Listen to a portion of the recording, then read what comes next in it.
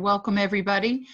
Um, we have the, um, the New York Marine Rescue Center today presenting on the um, endangered species in New York waters. And they work out of um, the Long Island Aquarium. So at the end of the presentation, um, we'll open it up for questions. Um, if you have something that pertains specifically to one of the slides, if you have a, uh, a question, you can go ahead and and uh, write your question up in the chat and we'll we'll share that with her. Otherwise, we will um, be taking questions at the end. All right, so I, I guess I will go ahead and let you get started. Uh, thanks for All right. joining. Well, thank you. Um, so my name is Nicole. I am the Education and Volunteer Coordinator for the New York Marine Rescue Center. Um, uh, we are a nonprofit organization whose mission is to protect and preserve the marine environment through conservation efforts, including rescue, rehabilitation, education, and research. Now, we are the primary response team for sick and injured seals, sea turtles, dolphins, porpoise, and small tooth whales, and we maintain the only rehabilitation facility for seals and sea turtles in the state of New York. Now, we are part of a network called GARFO, which is the Greater Atlantic Regional Fisheries Office, and that spans from Maine to Virginia. I apologize if you can hear my bird in the background. I'm very sorry. Uh, he uh, likes to talk a little bit. Um, now, together with these other organizations, we do work to promote and provide marine conservation, and we do that in a couple of different ways. Um, so we're able to share data with our partners to identify trends that we're seeing in the populations of the animals, um, as well as any uh, illnesses that we're seeing commonly. Um, now, we're also able to share resources uh, in regards to rehabilitating these animals as well.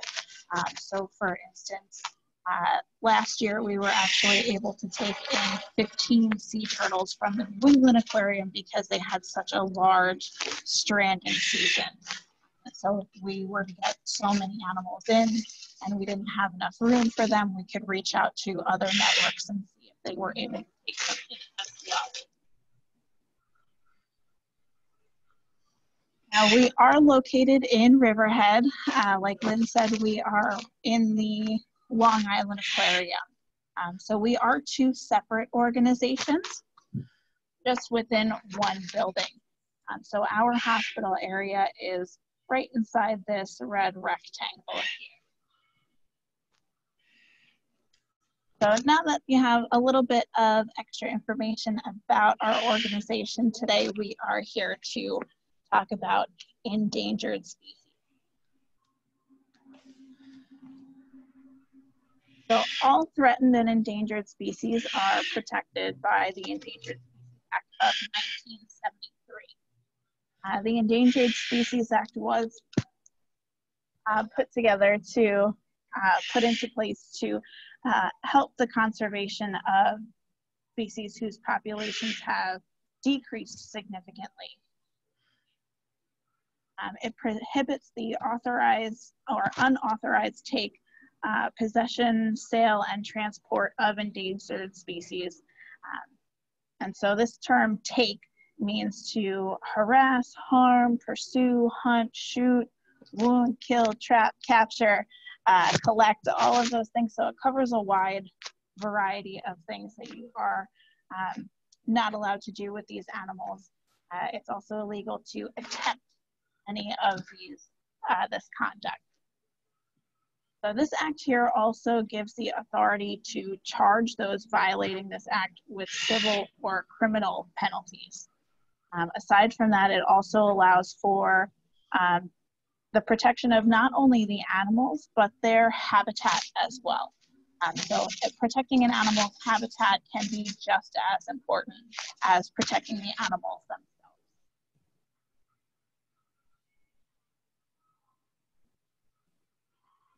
So there are seven species of sea turtles in the world, and all of them are considered threatened or endangered, and we see four of them uh, in New York waters. So the first is the Kemp's Ridley. Um, so now with these slides, you are going to see a picture of the animal, and then down on the bottom right is a map of their distribution and where you can find them in the world. Um, so the dark blue area is going to be their natural habitat.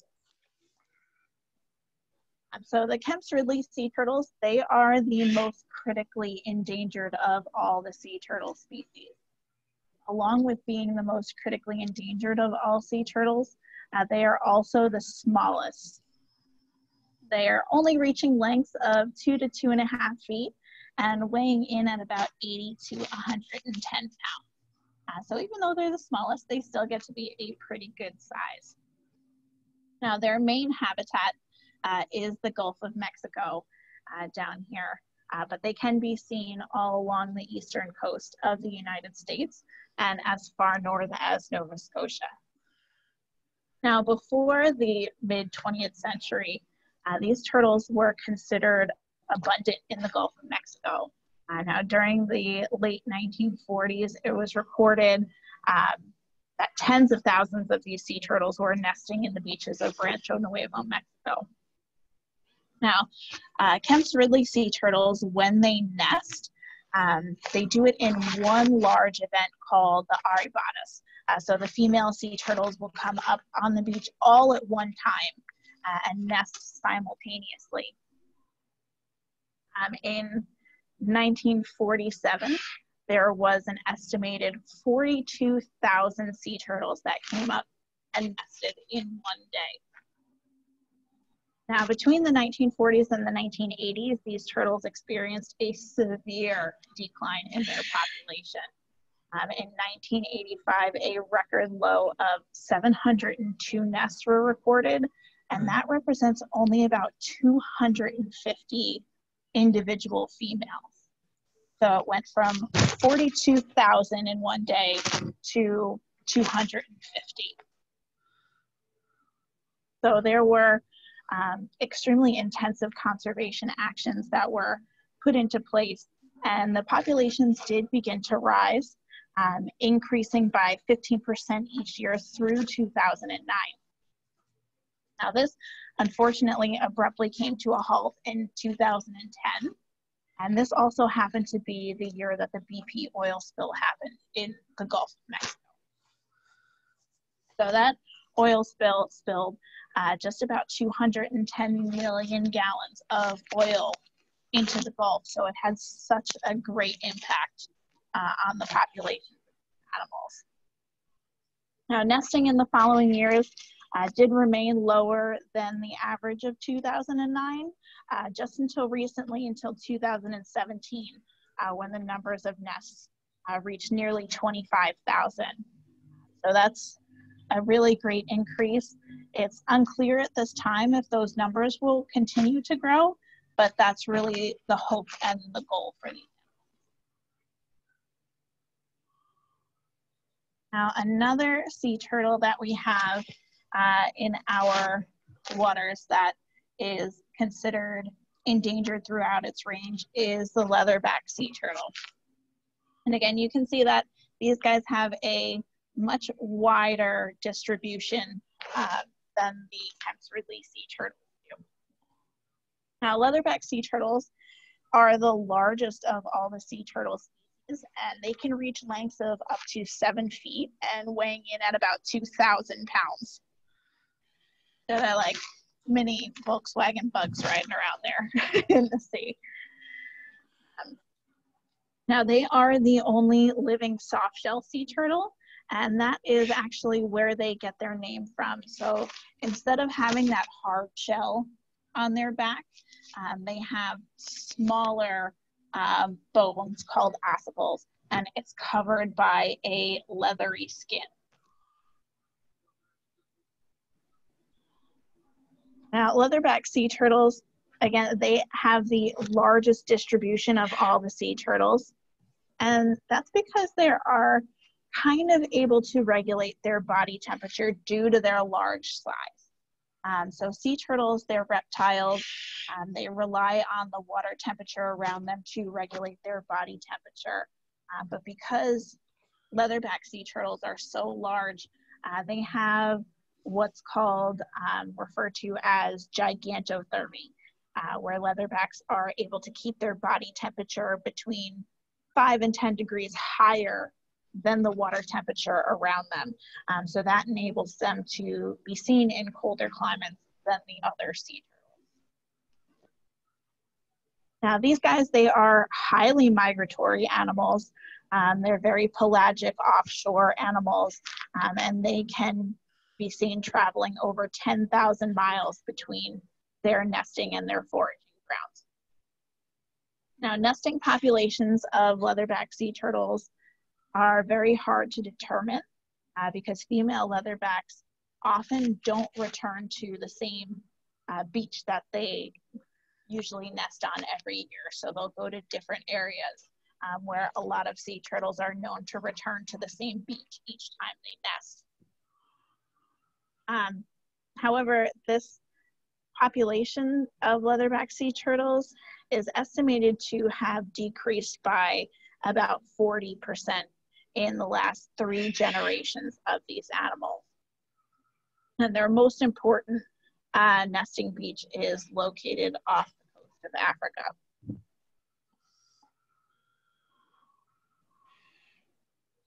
Um, now, many of the populations of leatherbacks are continuing to decrease. However, in the Caribbean, the Atlantic, and the Gulf of Mexico, they are generally starting to increase again, like the Kemp's Ridleys, we're hoping that that is going to be uh, the trajectory for these populations moving forward, um, as well as changing the direction of the other populations as well.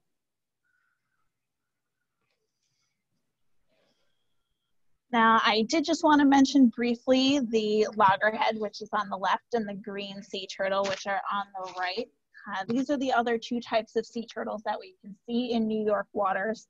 Um, now they are considered threatened in our area, but there are other populations of them around the world that are considered endangered.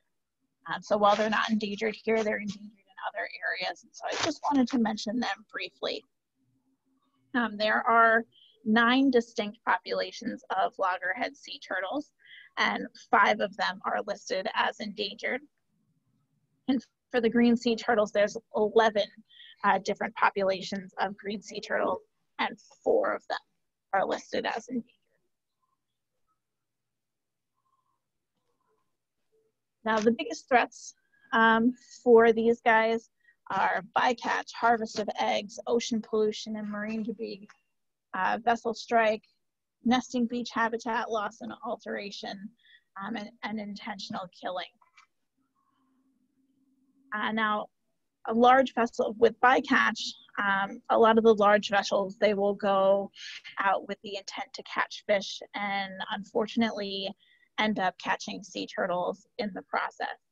Um, now, a lot of these boats are actually required to have uh, TEDs, which are turtle excluder devices uh, in their nets. So this allows for the sea turtles to be able to escape from these nets through the bottom. Um, there's a hatch at the bottom that would allow the sea turtles to get out of the net uh, while keeping the fish inside. Now with the harvest of eggs, this is something that is illegal in the United States, but is not illegal everywhere. Um, so in some areas, uh, these eggs will be harvested for food, uh, which can definitely have a large effect on these populations um, and new generations of these animals.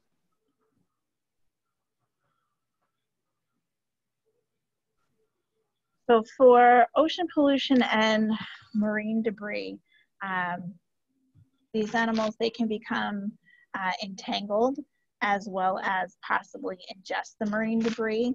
Um, things like plastic bags in the environment look like jellyfish, which or squid, which is part of their natural food source. So um, a plastic bag floating in the water can be confused with these um, their their natural food sources, so they can accidentally ingest them.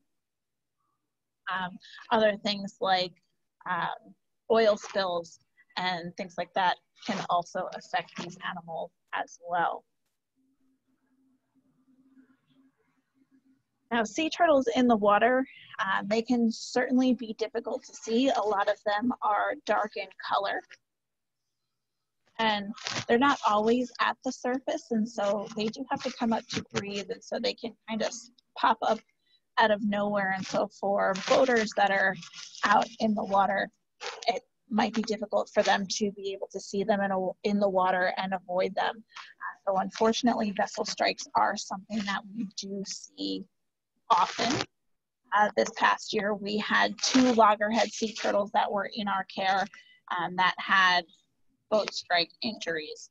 Um, now, one of them has already been released this year, uh, which is really exciting for us. We were actually able to put a satellite tag on this sea turtle so that we can um, see what the behavior of this animal is after being released. Uh, one of them is still in our care, but is getting ready to be released soon as well. Now, nesting beach habitat loss and alteration is another big one for these animals. Um, with the development of these areas and putting houses on the coastline and changing the chemistry of the beaches, it can definitely affect whether they will come back and use these beaches for nesting.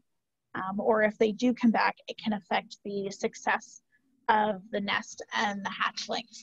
Um, so if they're used to coming to a certain beach, but now there's a house there, they might not be able to travel as far up the beach as they would need to to lay their eggs. So it can become inundated with water and can really affect the success of the nesting and the hatchlings. Um, another big cause of um, or issue for these animals is the lighting on the beaches as well. Um, so normally sea turtles, uh, when they hatch, they'll actually hatch at night and they will use the light from the moon to find the water. So if you have a lot of houses that are uh, on the coastline, on the water where these sea turtles are hatching and they have their lights on, it can be very confusing for these hatchlings and they can end up going in the wrong direction and not being able to find the water. Uh, so in places like Florida that have a lot of um, a lot of sea turtles that nest there and have hatchlings there, um, there are actually regulations that during the hatching season, people do have to keep their lights off on the beaches um, so that they don't affect turtles. And then the last is the intentional killing of these animals. So this kind of goes hand in hand with the harvesting of eggs. So again, in the United States, it's illegal to kill a sea turtle. Um, however, it is not everywhere. Um, so they are harvested for their meat and they are also harvested for their shells. Um, their shells they can use to make different kinds of jewelry. Um, so when you're taking both the females that are coming up on the beach to uh, to nest and then also taking the eggs, they're having a multi-generational effect on the populations of these animals.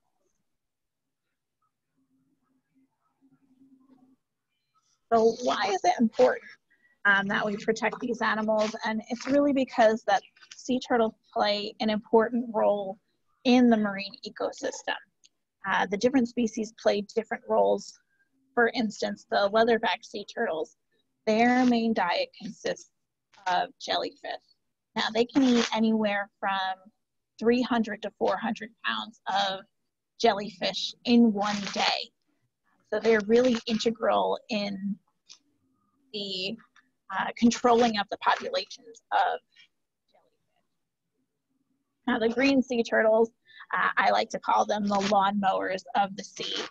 Uh, now they're eating a lot of seagrass and vegetation And the way that they eat these plants is that they actually clip it from the bottom of the plant. Um, and so when they do that, any excess that they don't eat, it's taken away in the currents. And so by having it taken away in the currents, it keeps these plants from dying right in that area and creating uh, toxic slime mold. It also keeps the seagrass from growing too tall. Now, tall seagrass can actually affect uh, ocean currents and it can also shade the bottom area and limit the growth of other vegetation and plants that are there as well. So there's a lot of different things that sea turtles do that uh, really affect the marine environment. And so it's really important that we protect them. Now, sea turtles are not the only animals that we have in our waters that are endangered. Uh, we also have whales. So we're really lucky uh, on Long Island to have such a diverse marine ecosystem with so many animals. Now in this presentation, uh, the whales that I'm gonna talk about, they are protected by the Endangered Species Act, like I mentioned earlier. Uh, but all whales and marine mammals are protected by the Marine Mammal Protection Act of 1972. Now, the primary objectives of this act is to prevent marine mammal species and stocks from diminishing to the point where they're no longer significant uh, functioning parts of their ecosystem. Uh, now, it's also to help restore these diminished stocks to their optimal sustainable population. Um, in this act, there are also guidelines given for best practices and how close you can get to these animals, how close you can approach them. Now, in general, for whales, uh, they shouldn't be approached within 100 yards or 300 feet, uh, but it really depends on their conservation status. Um, so for instance, the North Atlantic right whales are one of the most critically endangered uh, marine mammals in the world. Um, and so they're not to be approached within 500 yards, 1,500 feet.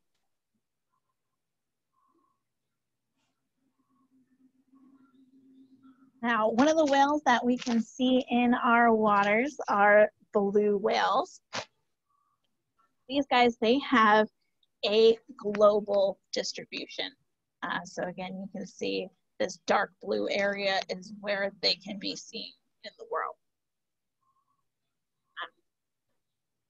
So they are listed as endangered throughout their range. So globally, they are considered an endangered species. Uh, the blue whale is the largest animal in the world and the largest animal that has ever lived. Um, so it's reaching up to 110 feet and weighing just about 330,000 pounds. These, these animals are incredible. Now, although they are the largest animals in the world, uh, their diet consists mainly of the smallest animals, uh, which is krill. Now, some of the largest blue whales uh, can consume up to six tons of krill in one day. Uh, just in case you're not sure how much a ton is, a ton is 2,000 pounds. And so these whales, they can be eating up to 12,000 pounds of krill in a day. It's just incredible. Uh, so they are also one of the longest lived um, animals as well and they're reaching somewhere between 80 to 90 years old. So they are found in all oceans except the Arctic Ocean, and there are five stocks of blue whales that are currently recognized. Now, they can sometimes be seen traveling in small groups, but are usually seen alone uh, or maybe in pairs. now, in the early 1900s, the commercial whaling industry uh, significantly decreased their numbers. Um, however, their numbers are on the rise, um, but it is a slow rise. Um, the only solid numbers that we have for these animals uh, was a study done in the Gulf of Lawrence uh, in 2009, and uh, only about 440 individuals were identified uh, during that study.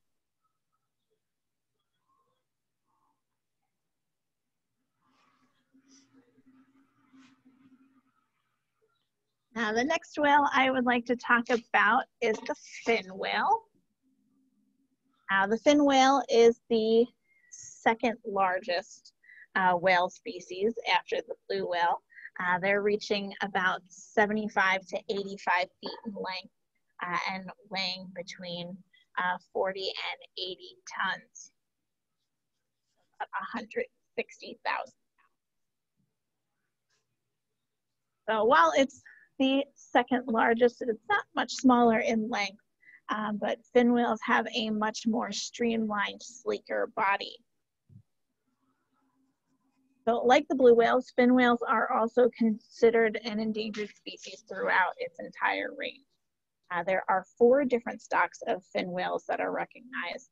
And the best estimate of their population uh, in the western North Atlantic comes from a study that was done in 2011 um, where about uh, 1,600 individuals were identified. Now these guys uh, get their name, the fin whale, from the prominent fin located on their back near their tail. So you can see this fin right here. Now, I think one of the most interesting thing about fin whales is their distinct coloration. Um, they are black or dark brownish gray on their backs, white on the underside, uh, but their head coloring is asymmetrical. Um, so if you look at this photo here, on their bottom jaw, the left side of their bottom jaw is a dark gray, and the right side is white. And so that's actually cut completely down, just right straight down the middle of their jaw. It's dark to black gray uh, on the left and white on the right. Um, and so it's actually opposite on their tongue. Um, so if they were to open their mouth, the left side would be normal tongue color and the right side would be black color. Um, so it's always something that I have always thought that was really interesting uh, about these whales. So many uh, fin whales have these light gray kind of V-shaped chevrons uh, behind their head. And they also have them um, on the underside of their tails and their fluke as well. Uh, now these markings are unique to each individual uh, and this is how they can be identified in the wild. Uh, fin whales are the fastest swimmers of the large whales and are often found in social groups of two to seven. Uh, in the North Atlantic, which is our region, uh, they are often seen feeding in large groups that include humpback whales, minke whales, and also Atlantic white-sided dolphins.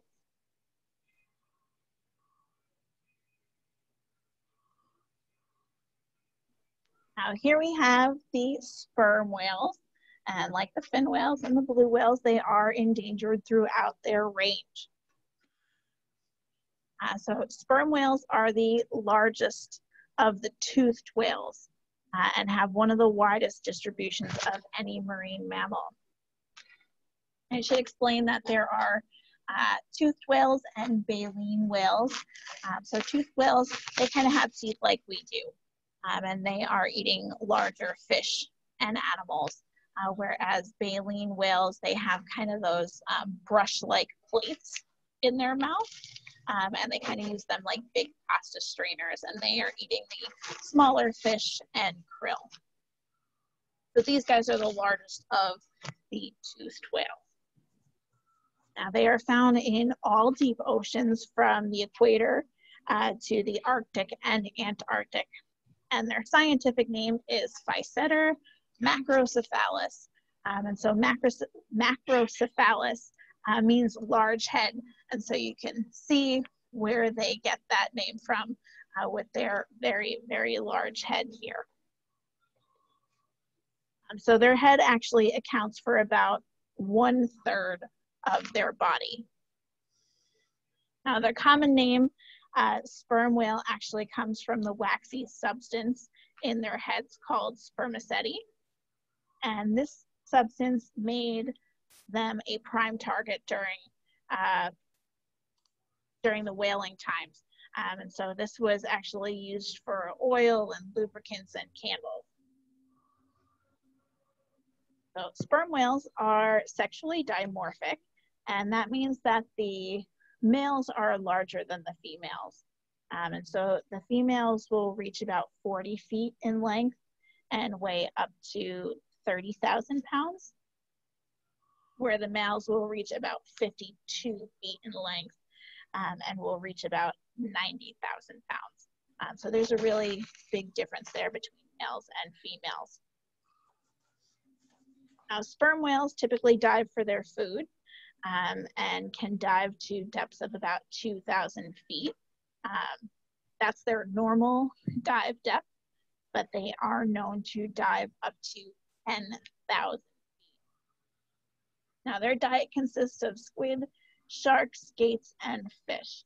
Um, and sperm whales are often seen with uh, little circular scars around their mouth, and that is usually caused by the giant squid that they eat.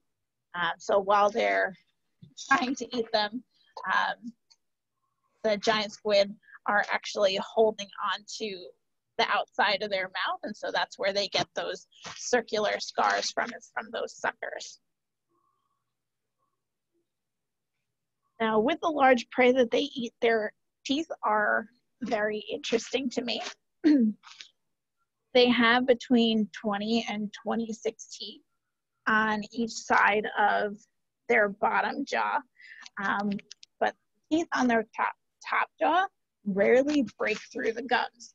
So it's really just those, that bottom jaw and those teeth um, and the sheer power of their jaw that allows them to eat such large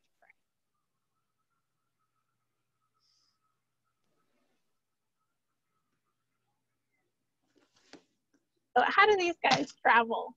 Um, other than uh, large adult males, uh, sperm whales don't usually travel alone. Um, so females will form bonds with other females in their family, and they can be seen traveling together with their young. Uh, now, these females will usually stay with their family group for their entire lives. Now the males, uh, once they reach a certain age, will leave the family group and find a group of other males uh, of about the same size and age that they are, and they'll travel around with them, and those are called bachelor schools. So as the males get larger, uh, they will kind of break away from those bachelor schools and they will be traveling on their own. Now, there's no exact count of the worldwide population of these animals, but the best estimate is between 300 and 450 them worldwide.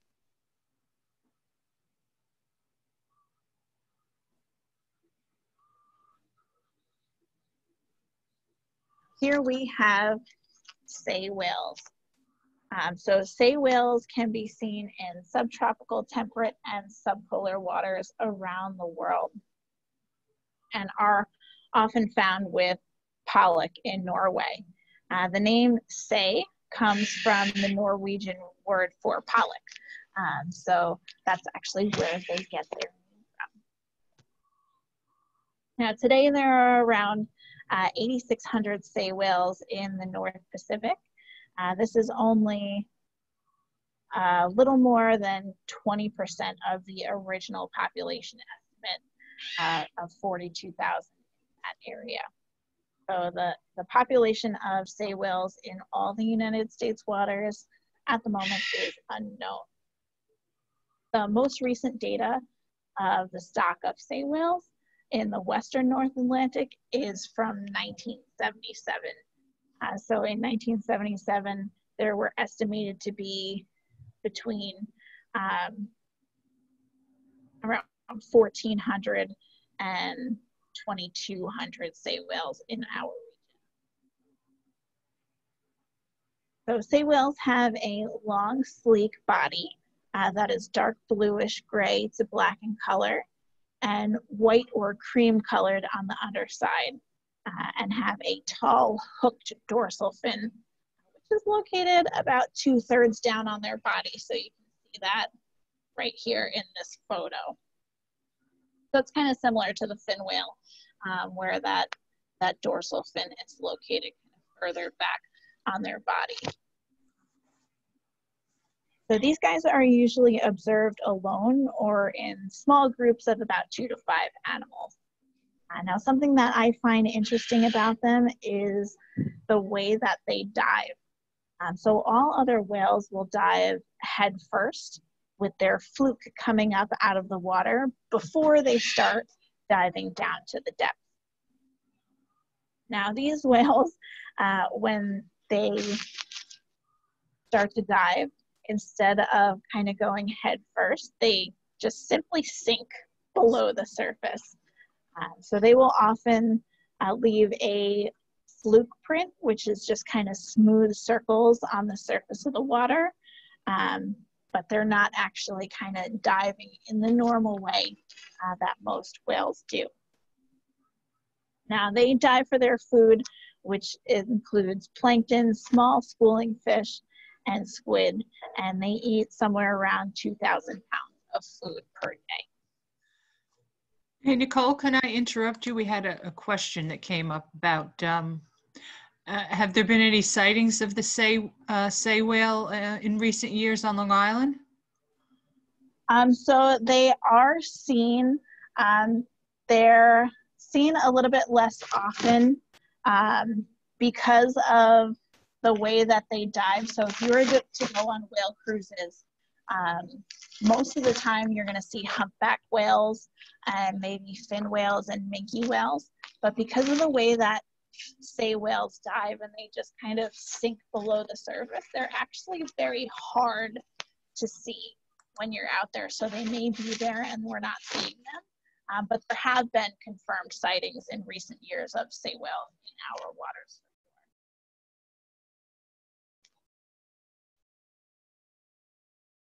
Now the, the migration patterns and the movement patterns of these animals are really not well known, um, but they are typically observed in kind of deeper waters and farther away from the coastline. Um, so they're, they're very pelagic animals. Now they also have an unpredictable distribution. Um, so many of the whales are found in one area for a period of time and then they won't return to that area for years um, or even decades. So their their movements are really sporadic and very different uh, from a lot of the whales that we are used to seeing here. Um, it's very unusual for large whales um, who usually have a very predictable uh, migration pattern. Um, but no one even knows where the sei whales breed.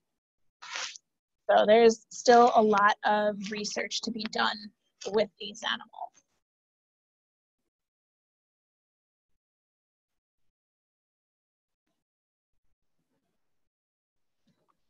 Now we have the North Atlantic right whale. Um, so you can see that their distribution here is much smaller than the whales that I have already discussed. Uh, now there are different kinds of right whales that are in other areas of the globe, uh, but this is where the North Atlantic right whales can be found. Now these guys, they are one of the world's most critically endangered large whale species. Um, there are two other species of right whales.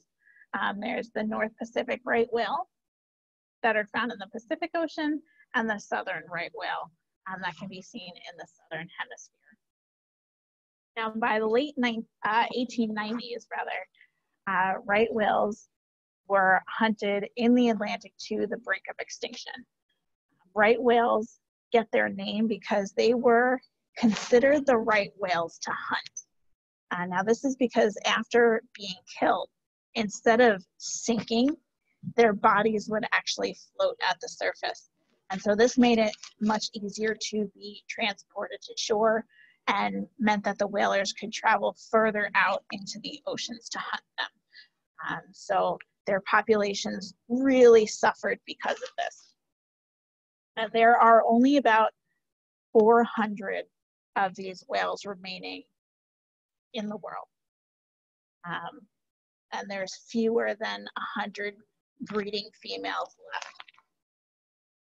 Now, only 12 births have been observed in the last three calving seasons since 2017. Um, and that's less than one third of the previous annual birth rate for these whales. So this, together with an unprecedented 30 mortalities since 2017, um, led to um, the declaring of an unusual mortality event. And so this is accelerating a downward trend uh, for these animals. And so right now, the births are not exceeding the deaths that we're seeing. So it's very possible that we could see the extinction of these animals in the next several years. Um, so North Atlantic right whales, they do primarily occur in Atlantic coastal waters um, or close to the continental shelf, um, although movements over deeper waters are known. Now they do migrate seasonally and may travel alone or in small groups. Now in the spring and the summer and into the fall, many of these whales can be seen uh, off New England and further north into Canadian waters where they feed and mate. Now each fall, uh, some of these whales will travel more than a thousand miles from feeding grounds to shallow coastal waters of South Carolina, Georgia, uh, and northeastern Florida. So these waters in the southern United States are the only known calving area for this species. And so an area where the females regularly give birth during the winter. Now, NOAA Fisheries which is the National Oceanic and Atmospheric Administration, has designated two critical habitat areas to provide um, important feeding, nursery, and calving habitat for the right whales. So like I was saying before, um, with the Marine Mammal Protection Act and the Endangered Species Act, not only are we trying to protect the animals themselves, but we're also trying to protect their habitat, their main habitat that they're using um, to help them facilitate a, a good life and um, good parameters and situations to be able to feed uh, and be able to nurse and uh, calve their young. Now, another way that we are trying to help the North Atlantic right whales are by identifying each animal. So their characteristic feature is these raised patches of rough skin that you can see here. And this is called callosities. Um, so it's all over their head. And now they appear white because of um, something called whale lice. Uh, each right whale has a unique pattern. And so scientists use these patterns to identify individual whales.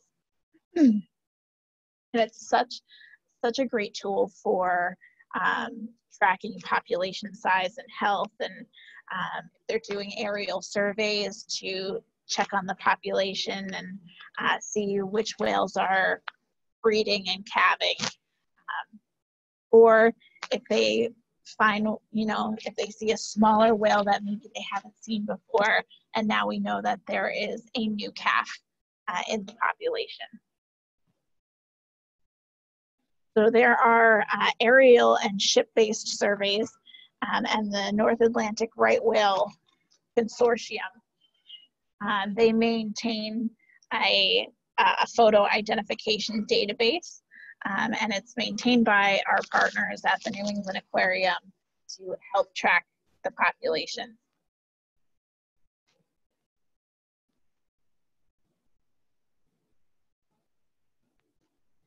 But I just wanted to touch a little bit on humpback whales. Um, so whaling of these animals had decreased their populations by about 95%. Um, so when the Endangered Species Act, it, yeah, tongue-tied, uh, when the Endangered Species Act was enacted, uh, all humpback whales were listed as endangered. Now, with the protections placed upon them for their populations, um, they did begin to grow, and currently, out of 14 different stocks of humpback whales around the globe, only four of them are still considered endangered, and one is listed, listed as threatened. So this is just a success story that I wanted to share. So it just goes to show that with the proper protections for these animals, uh, the population can bounce back.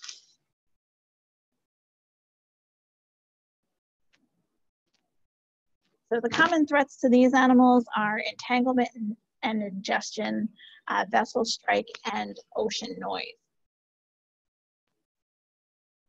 So just like with the sea turtles, uh, these whales can confuse plastic bags in the environment for their natural food source, um, and they are subject to getting tangled up in fishing gear. Now this photo on the left here is showing um, an Atlantic, a North Atlantic right whale getting stuck in lobster pots. Uh, so this is something that unfortunately we see commonly with whales as well as leatherback sea turtles, uh, since they are both such pelagic species. Uh, now lobster pots, they are set on the bottom here, um, but in order for the boats to find them again, they are attached to a buoy at the surface via a rope. Um, so as these animals are traveling, it is really easy for them to get tangled up in these lobster pots. So there are actually um, specially trained teams to respond to entangled whales um, and sea turtles. And so NOAA, which again is the National Oceanic and Atmospheric atmospheric administration uh, trains special teams of people to go out and disentangle these animals in the water. Um, now, the reason that there are specially trained teams is because it can be extremely dangerous to try to disentangle whale. So if they if they move in the wrong direction, they can pull you into the water. They could hit you with a flipper or their tail. Um, and so it can be really, really dangerous for this.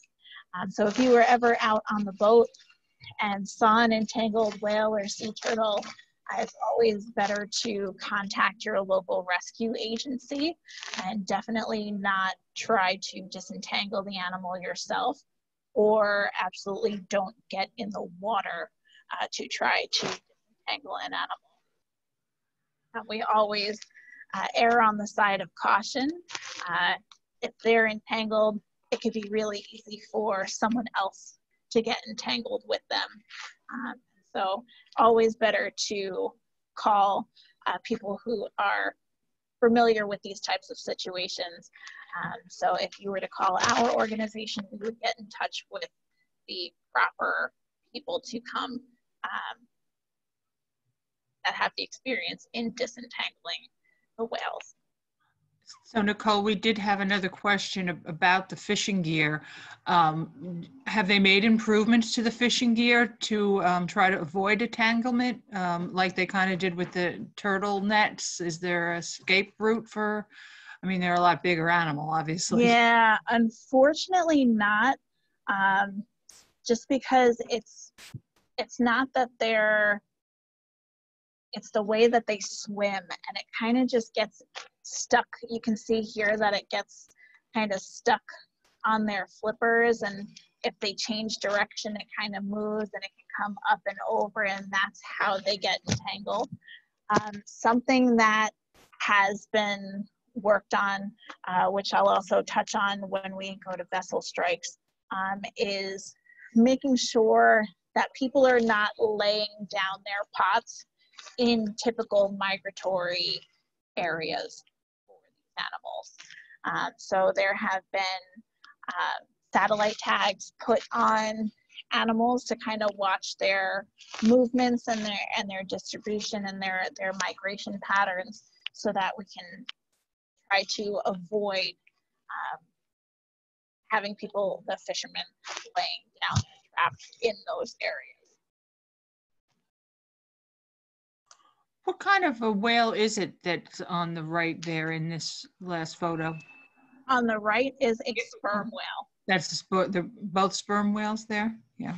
So yeah on the left here is a north atlantic right whale that's depicted but Okay. this this photo right here is a sperm whale so the sperm whale here is just um, has all kinds of fishing line and stuff uh, wrapped around its bottom jaw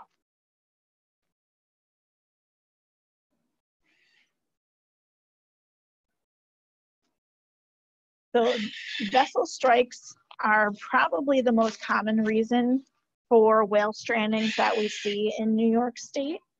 Um, you can tell when they've been struck by a boat uh, due to the bruising that's seen in their tissues um, on the necropsy examination uh, after they've stranded. Um, so this is again something that's being done to try to avoid these is looking at these animals migration patterns um, and when they are kind of more likely to be in these shipping lanes uh, trying to decrease the amount of vessel traffic during those times uh, but also having the people on the boats more aware of these animals in the area and looking out for them um, some companies, they go as far as um, hiring marine mammal observers on their boats specifically there to look for them.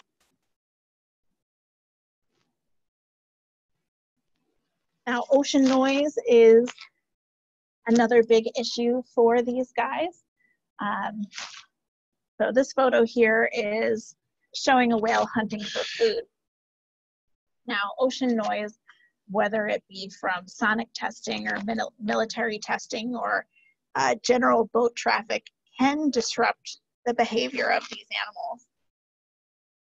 So for whales, their hearing is extremely important to them.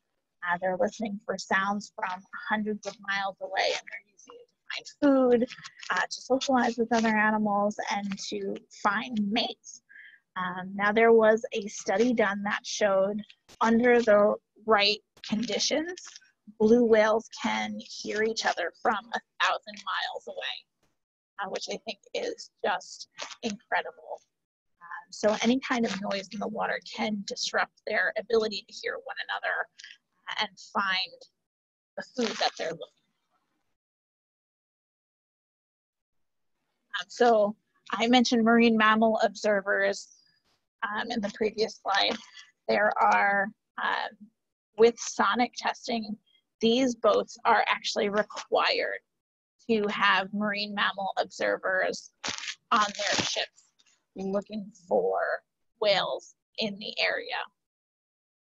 Um, so if a marine mammal observer sees a whale within a certain distance from the ship, have to cease and desist uh, their actions until the whales move out of the area uh, so that they are not affecting um, these animals negatively.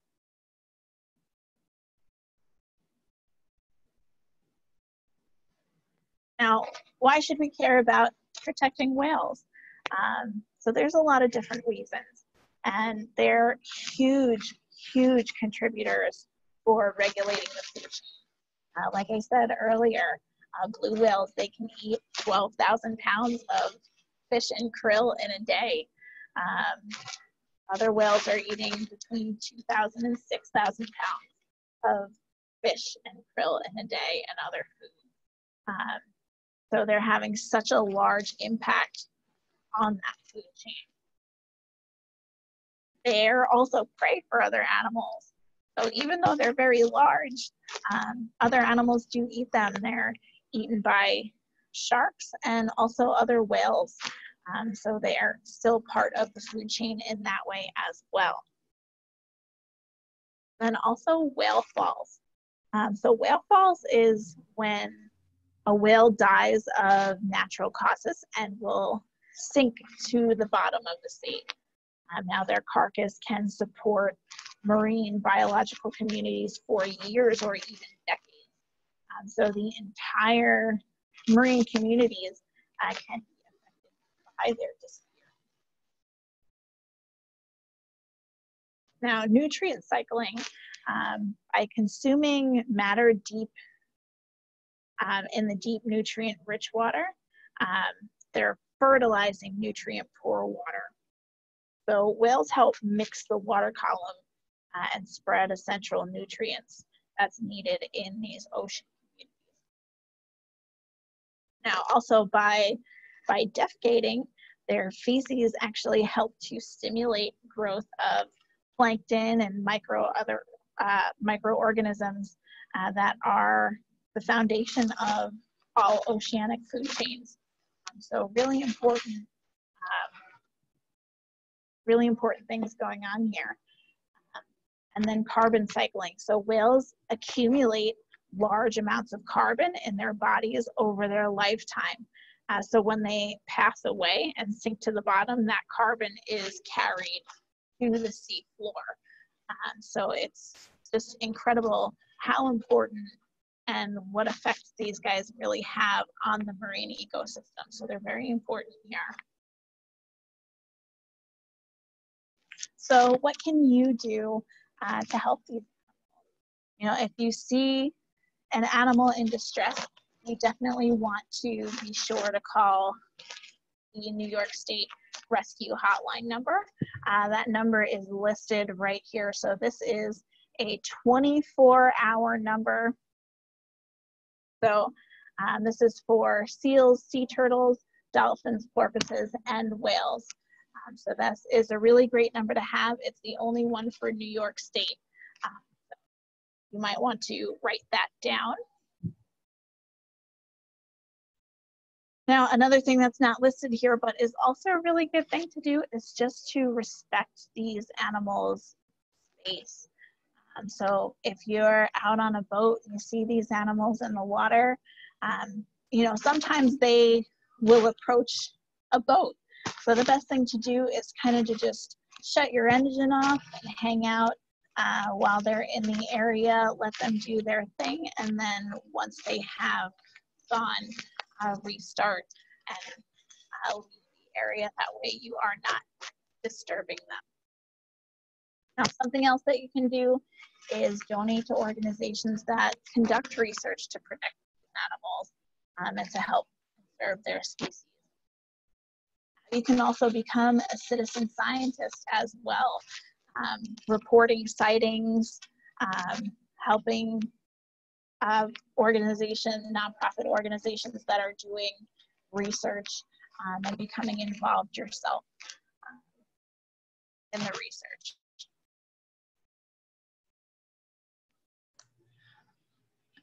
So we, I, I, we have a couple questions. I guess the first question I'd like to ask is, if you, um, you wanted to volunteer to be like one of the people that walk the beaches, um, looking for, you know, cold stung uh, turtles or something, would they call that same um, uh, 369 number? So that's our rescue hotline number. Um, if you're interested in helping us look for cold stung sea turtles on the beach, you will want to visit our website. Um, Okay. so that is www.nymarinerescue.org. Um, and so there are um, dates on our calendar of events for cold stun sea turtle lectures and trainings to learn about that. Um, and there's also a place to put in uh, applications for the volunteer program on our website as well. And we did have another question. Um, let's see if I can unmute. We have someone that said they saw a, um, a whale out at Westhampton Beach, uh, believed to be a baleen whale. Uh, let's see if I could unmute her if she wanted to ask it. Um, if you want to unmute yourself, Justine, you can. Oh, I Um, did. Am I, yeah. can you hear me? yes. Yes, you can. Uh, my uh, son was at Westhampton Beach Ocean last week, and it was less like tw- 200 yards. He saw like the water churning around, and unbelievable. A whale came right up out of the water. He could see the baleen as it scooped up all the fish that were in that area, and then it, it disappeared. But it was like, I, of course, I asked, "Did you take a picture?" But it was, it was one of those things. And the other, uh, I don't know if it was one of those North Atlantic ones. I mean, which ones would come that far into the Hamptons? And my second part you can answer is, our waters are awfully warm. You hear about the dolphins in, now near Bug Light, and the, the, of course you hear about the sharks, and also um, other species uh, that are coming closer down Long Island where they used to be in more of the North Atlantic. Is the water or climate change affecting all of these uh, species now? Um, so for whales in our area, usually the most common ones that we're going to see are humpback whales. Um, so we've gotten lots and lots of sightings of humpback whales uh, in our area. Um, so that is likely the one that uh, he Oh. saw. I can't, was obviously, I can't say 100% for sure uh, without seeing any photos or anything, but it is uh, a I mean, it thing would to come, see. it would come that close that he actually saw the baleen and the fish going right in. And then, of course, it went down. Yeah. It was, you know, it was the day, and made his day, believe me. he couldn't wait to tell us. But I can see the water is so warm. I mean, it was warm, and I, I, I would think that that was a hindrance to a lot of these species. I don't Yeah, know. it, it is very warm, and so the, the warming waters seem to be bringing in more of the kind of bait fish and the food source. What kind of fish? the bait fish. So it's more like bunker and Okay. like the the fish that they're feeding on. Um, so they're it's kind of bringing these fish more into the area, and so we're seeing the animals that are eating these fish more often as well. Aren't they in more danger if they're coming closer to the shore? That they might um, get, uh, you know, stuck. Yeah, unfortunately, it is. It can be a side effect. Um, you know, they're coming in contact with more boat traffic as well. Um, unfortunately, there's not much that we can do about it except for try to monitor the situation and um, keep an eye on the animals that we get uh, sighting reports. Okay. Thank you. You're welcome. Okay, if there um, isn't any other questions, I would encourage you to check out their website, uh, newyorkmarinerescue.org. And um, if nobody else has any questions, thank you so much for joining us tonight.